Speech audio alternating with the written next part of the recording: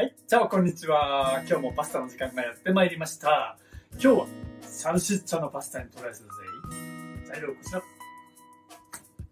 えーっと、これは牛豚の合いびきです。ひき肉ね。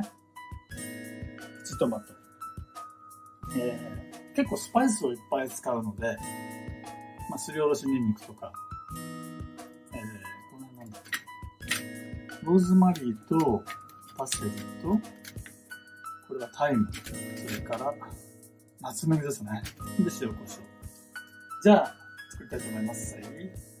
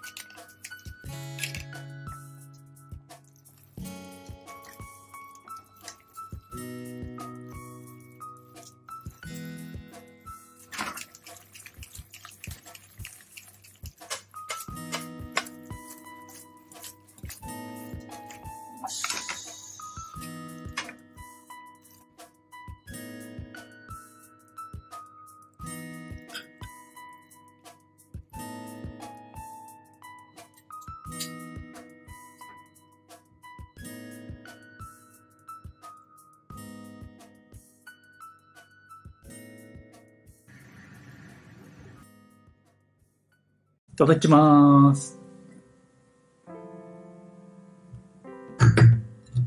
さあ、初サルシッチャ、どうかな？うん？うん。サルシッチャは上出来。かなりハーブ効いてますね。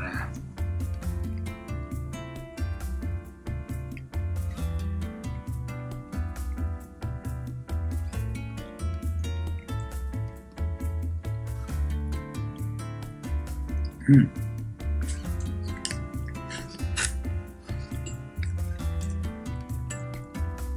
うん。うん。美味しい。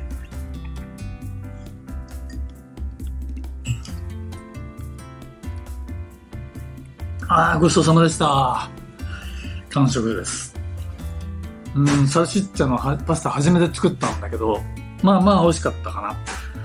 ただちょっと反省点は、あの、最後にちょっと味見したら、なんか足んないなって思ってたんだよね。